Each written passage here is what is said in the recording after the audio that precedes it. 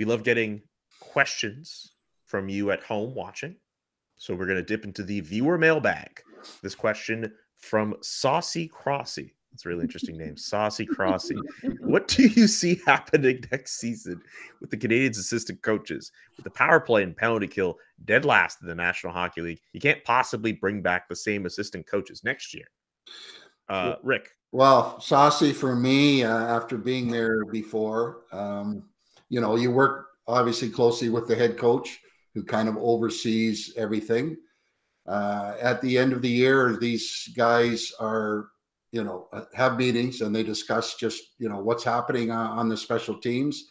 And if they're not getting obviously the results, uh, then changes are are made. But uh, it all depends on the head coach if you know he wants to keep these guys on board, whether he likes working with them.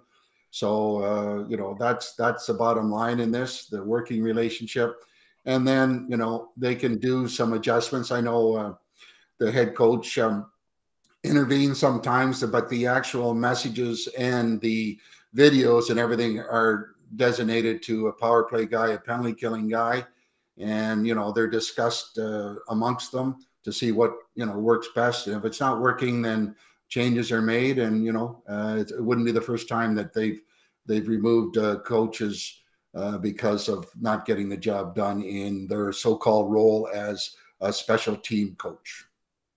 Yeah, I wouldn't be surprised if there's changes come this offseason, especially new coach comes in. He wants to have people that he's comfortable with and people that he knows. Um, and you know the, it, the special teams hasn't been working out the way that they want to.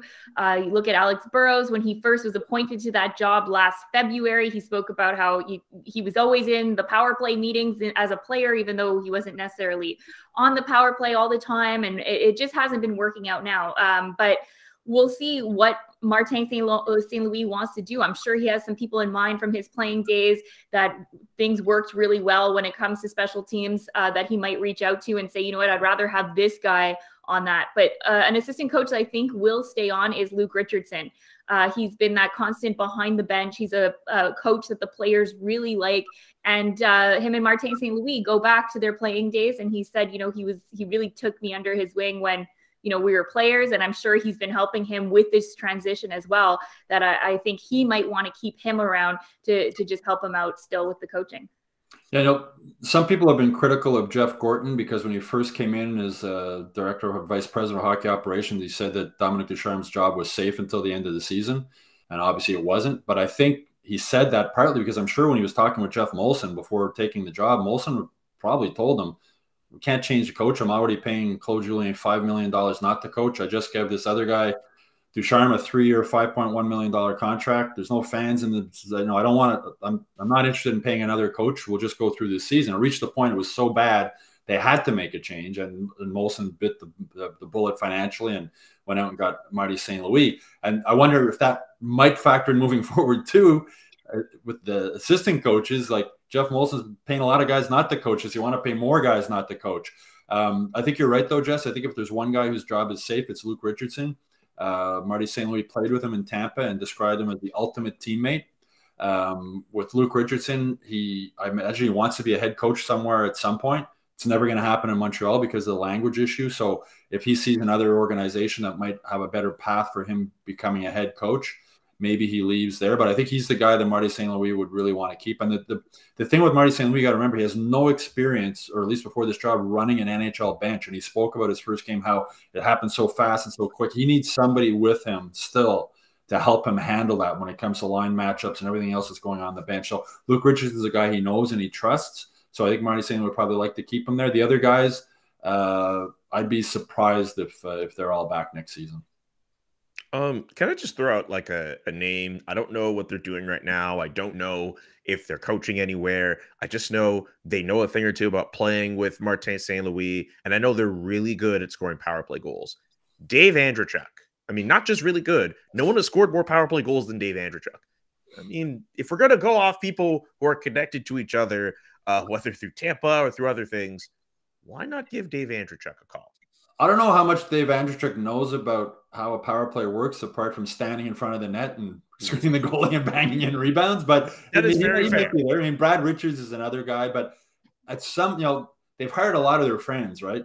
These guys. Yeah, At some point, it. I think they gotta you know, hire the best people instead of hiring their friends. Neil Cavalier was, uh, you know, Kent Hughes' agency business. If Neil Cavalier didn't sign with him, probably would have gone under. Um, you know, so there's a lot of friendly hires there. Um, It'll be interesting to see how much more that continues moving forward. But I might be wrong, Julian. You might be right. Maybe Andreychuk knows more about the power plays than than just standing in front of the net. I think he was in broadcasting, maybe part of Tampa's broadcast team at one point. So, but come on, they have to find a way to bring Brad Richards onto this team. They have to bring that trio back together somehow. Maybe he could be Youppi for a game. You know, we won't even know. But Let it's Brad Richards be Youppi. When Vinny LeCavalier was being interviewed, he said that he always knew that Marty St. Louis wanted to be a coach when they were teammates. He always spoke about it. And he thought in the back of his mind, "Well, maybe one day I'll be an assistant coach with him. And you wonder if, you know, right now he's not ready to uproot his family. They probably weren't, you know, ready to make more coaching changes this season. So maybe, in you know, Vinny LeCavalier coming in here, maybe that's some. They're speculating here. Maybe that's something that has been spoken about moving forward. The possibility of Vinny LeCavalier becoming an assistant coach. But now you have another guy behind the bench with no experience behind the bench. I don't know how well. You know, I remember when they hired Mario Tremblay and then they hired Yvon Cournoyer to be an assistant, and uh, you know, didn't work out so well. Work out as well. And, and I hate to bring up that uh, I was on the ice way too many times with Andreychuk in front of the net on the power play, finding finding ways to flip, deflect it. But you know, in all seriousness, I think uh, Andreychuk is loving uh, life in Florida right now, doing his uh, his TV gig. And uh, uh, anyways, stranger things have happened, but uh, you, it makes you it makes you wonder. Okay, you know what's what's their priority at this point as uh, everybody gets older and their priorities change. He was a large man, eh, Rick, to try and move.